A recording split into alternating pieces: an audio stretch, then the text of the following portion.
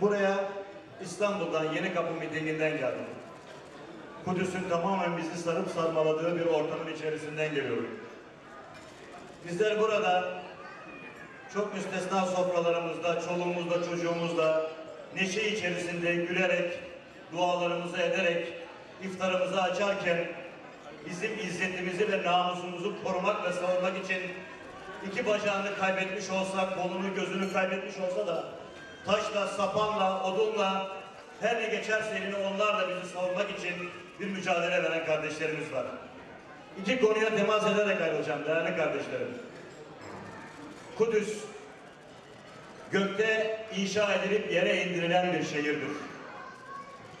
Mescid-i Haram Allah'ın haremidir. Mescid-i Nebevi Peygamber Efendimiz Aleyhisselam- Aleyhisselam'ın haremidir. Kudüs ve Mescid-i Aksa ise tüm Müslümanların haremidir. Bugün ne yazık ki 70 yıldır bizim haremimizde bir kirli el gezinip duruyor. Ve bu kirli el son derece sakil pervasızca kendisine teşne olarak destekleyenler tarafından da bizim gözümüzün içine baka baka sinir uçlarımıza dokunuyor. Her gün yeni bir sınama yaşıyoruz. Kudüs bizim sınavımız. Değerli kardeşlerim. Bugün geldiğimiz noktada Sayın Cumhurbaşkanımız bugün öyle ifade etti. Belki sizlerin de dinleyenleriniz vardır aranızda. Dedi ki Mescid-i Aksa bizim ilk kıblemiz. Biz ilk kıblemizi koruyamazsak, ilk kıblemize girişilen bu saldırılar karşısında sessizliğimizi muhafaza edersek, gözümüzü yumarsak, maazallah bugünkü kıblemizi koruyacağımızın güvencesini nasıl görebiliriz? Durum budur değerli kardeşlerim.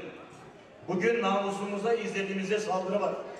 Ve orada bir avuç Müslüman Filistinli kardeşlerimiz bütün bir Müslüman coğrafyasındaki Müslüman kardeşlerimizin izzetini ve namusunu korumak için bir mücadele sarf ediyor. Artık bir şey yapmak lazım. Çünkü Peygamber Efendimizin de söylediği gibi hadisi şerifte bir kötülük gördüğünüz zaman onu elinizle düzeltiniz. Elinizle düzeltemiyorsanız dilinizle düzeltiniz. Dilinizle düzeltemiyorsanız buğz ediniz ama bu imanınızın en zayıf noktası olduğunu gösterir size. Sevgili kardeşlerim, biz bugün bir karar verdik.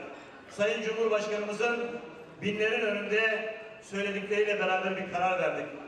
Biz artık Mescid-i Aksa'nın ve Kıble'nin bizim Kabe'mizin, ilk Kabe'mizin nöbetini sadece Filistinlilere bırakmayacağız. Bırakmamak zorundayız. Çünkü 70 yıldır sadece o masum, o mahrum insanların sırtındaki bu büyük dava onlara ağır geliyor. Ve biz sadece seyretmek yetiniyoruz. Onun için değerli kardeşlerim bir şey yapmak vakti. Nasıl yapılır, nasıl olur bilmiyorum ama mutlaka bir şey yapmak zorundayız.